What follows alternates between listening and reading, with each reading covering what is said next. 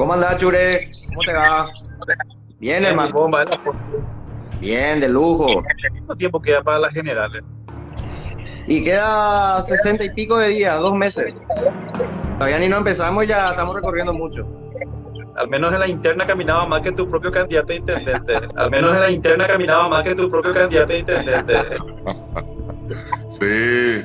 Caminamos mucho, no sé si más que él, pero por lo menos mucho, ¿verdad? Estaban todos los concejales y Juan no estaba. ¿Qué me pasó? Y había algunas tuerquitas que ajustar. Y hoy terminamos de ajustar. Como le dije hoy a Nenecho, que ya estuve escuchando que estuviste anunciando que él me visitó hoy. Y Sí. le dije, "Herma- hermano querido, no puede haber diferencia entre tus candidatos a concejales. Vos no podés, a través de la estructura de la municipalidad, ayudarle a, a uno y a otro ignorarle. Sin embargo, yo, que fui candidato de otra lista, evidentemente que yo soy el que le puedo aportar votos que Nenecho no tuvo en la interna. O sea, es sencilla la ecuación. Entonces, o nos vamos todos iguales con la misma condición y la misma herramienta, o no le da nada a nadie. Vi ahora que Nakayama se unió, Eduardo, mejor dicho, se unió con, con el partido de Mario Ferreiro. Vaya paradoja, ¿verdad? Los que salieron echados por corruptos ahora se unen a la, a la esperanza. Generalmente los partidos que están tendiendo hacia, hacia el socialismo, hacia lo que nosotros llamamos zurdos, pero que son partidos átomos, son movimientos. Usted huele a zurdo. No, no, no, no. Usted huele a tagamiento. Es zurdito. A todos les juntan un tranvía y están todos ahí. Están perdiendo la batalla cultural los zurdos de mierda. Por primera vez se ven acorralados los zurdos de mierda. ¿Cómo podés llegar a gobernar? ¿Cómo podés llegar a tener una agenda de gestión? Cuando lo que haces es unirte únicamente para poder llegar al poder sin tener un plan de gestión. Y ese es el desastre, la improvisación que siempre tuvo la oposición y es por ello que muchas veces fracasaron y que cuando llegaron en la gestión también fracasaron.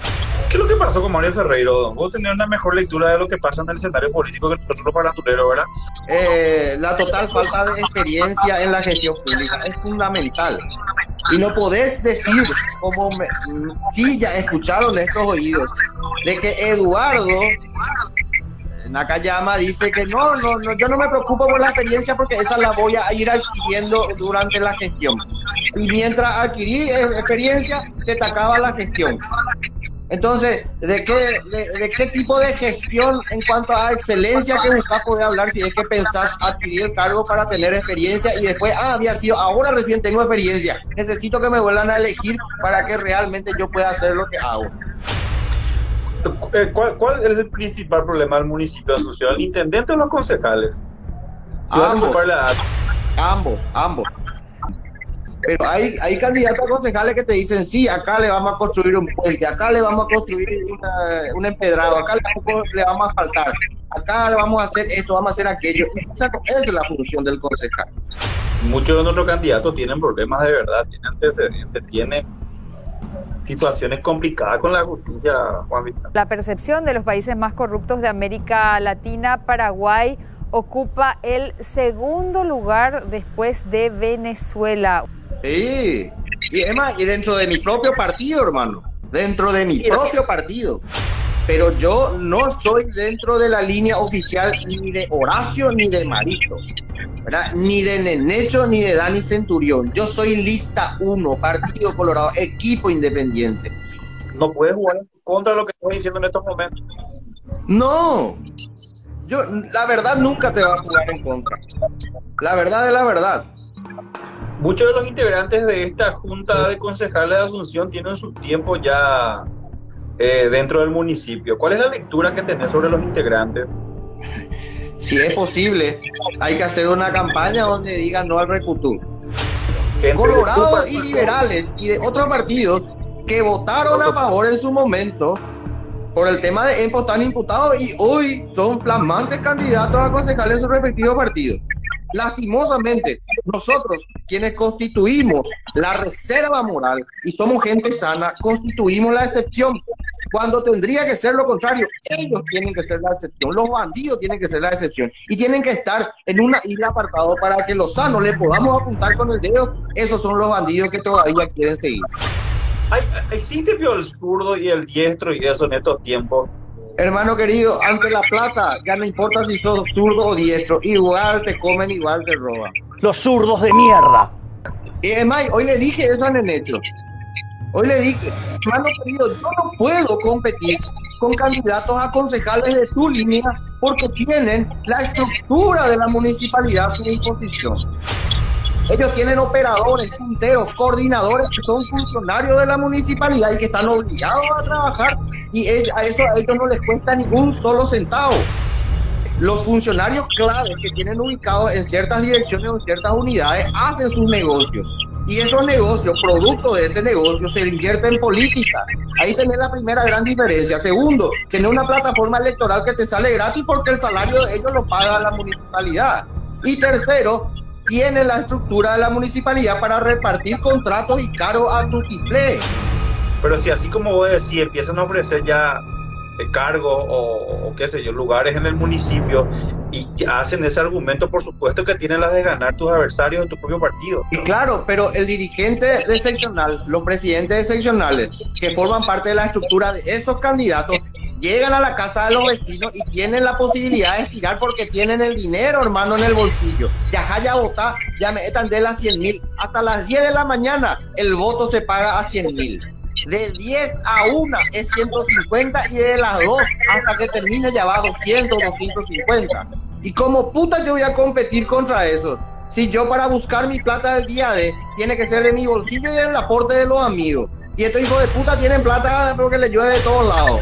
Todos los días hacen negocios. Cada concejal tiene su feudo dentro de la municipalidad. Wagner tiene el concejal liberal, gran bandido, tiene su feudo el mercado 4. Y la vez pasada me fui a incursionar en el mercado 4 y es un desastre, hermano. Espacio en la calle ni venden a través de una caja paralela. Y aparte que tiene luego todos sus coordinadores, todos sus punteros, todos sus operadores políticos, funcionarios de la municipalidad. Y después me quieren decir ANR nunca más. Después me quieren decir, ay, la ANR, el partido de los bandidos. ¿Y los demás? La primera semana que te metes 3-4, cuando termina el periodo ya tiene más de 100 adentro. Es como el, paralelo a lo que sería Calé entre los colorados, ¿vio no? Pero Calé por lo menos es inteligente, Calé por lo menos es un estratega político, por lo menos te articula, por lo menos es, un tipo que, que, te puede generar estabilidad política o te, te genera inestabilidad. Wagner nunca te va a generar inestabilidad porque su negocio es que nadie sepa lo que pasa en la MUNI. ¿Quieres que te cuente algo, Alvarenga, mi amigo? Eh, pero lo que voy a contar todo el mundo sabe. Hermano querido, yo primera vez en mi vida vi que un tipo haga un documental de cómo se compra cédula y voto. Es más, ¿querés que te eh. cuente lo que yo le, le pedí hoy a Nenecho?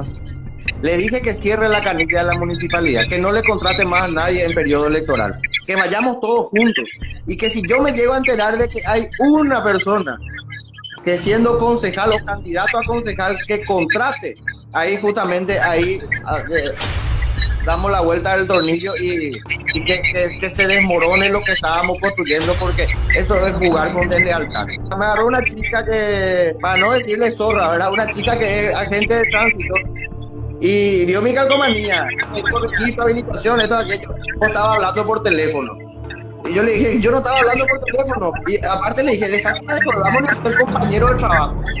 Ahí vos te crees que porque sos candidato a concejal me vas a hablar. Si yo también tengo mi candidato a concejal, yo también tengo mi candidato. Jamás hablan de candidato a la Yo liberal a la vaina la secretaría, a tu época. El hashtag ANR nunca más es todos los días tendencia en Twitter, por ejemplo. Sí, pero lo que pasa es que las tendencias que se hacen en Twitter son justamente porque ya hay un descreimiento hacia la clase política. Si yo soy ocupo un cargo y hago una mala gestión, habría que buscar personalizar esa mala gestión condenarle a esa persona que hace mala gestión, no condenar a una institución. ¿Cuál va a ser tu enfoque ahora? ¿Vas, a mantener la, misma línea de enfoque? Eh, ¿O cómo va a ser en, estas generales? El enfoque siempre es el mismo, eh, Chure. eh, siempre la misma línea discursiva en base a la transparencia, en base a la honestidad, en base a la autonomía y a la autodeterminación de cada dirigente sin poder seguir líneas de un liderazgo que muchas veces se convierte en patronato. El posteo de Nakayama no te, no te llamó, no te pareció nada simpático. No, lo que pasa es que querer instalarse haciéndose del Kashiai puede ser que te resulte en cuanto a tendencia, puede ser que te resulte en cuanto a que te llame atención, pero te resta seriedad. El Partido Liberal también tiene mucha responsabilidad porque no se vendían en muchas partes de la historia de, la política Paraguay capaz que las cosas eh, serían distintas, porque al final terminan negociando con, con, los con su supuesto contrario, ¿verdad? Claro, toda la vida hicieron así. Toda la vida hicieron así. Y la única vez que pudieron ellos eh, buscar una alianza en base a un candidato liberal, ese candidato liberal tuvo que salir por la ventana, tuvo que salir enjuiciado y casi se fue preso. Y era la luz de la esperanza de la clase política en su momento que fue Martín Burr estaba recordando nomás las alianzas de, de Nenecho. Y además, y así llegó a la intendencia. Hubo un sector grande del partido que recibió una bajada de línea para que sea fulano o mengano. Pero en ese sentido yo creo que Nenecho actuó bien porque él no aceptó que se le imponga nada ni que se le baje línea para que fulano o mengano sea intendente. Juan Villalba, eh, ¿en qué se diferencia de todo lo que estamos hablando, de todas estas, de, de los concejales, de cómo se maneja la política? ¿Quién es Juan Villalba? ¿Por qué es la alternativa distinta a, a lo de siempre? Y Juan Villalba es un tipo que no duda en decirte la verdad a la cara. Es un tipo que tiene una solvencia moral, porque siempre traté de construir esa solvencia, esa reputación en base a buenas acciones. Si a mí me tienen un cagazo, ¿verdad? De, de, que yo de repente abra la boca porque tengo una lengua muy filosa para que le pueda, por ejemplo, eh, agarrar cierto relato de la verdad es que digo que no quiere que se le diga nada, ay pobrecito, pero pero mondajala tipo en porque estamos cansados del Virorey. Acá pues nosotros no podemos tener eh, una tendencia de que, ay, ¿quién pa se metió con Marley? Ay, ¿quién pa, perdón por la grosería, ¿quién pa cogió con el papá Friedman? Ay, ¿quién pa es la mujer a que ahora va a vender su culo? Ay, vamos a hablar de cosas serias y que con eso nosotros podamos contribuir a mejorar la condición de vida de los ciudadanos y que con nosotros podamos por lo menos elevar el debate y hacer de que Paraguay sea un país mucho más próspero porque tenemos una población bien educada y no, no hacer un de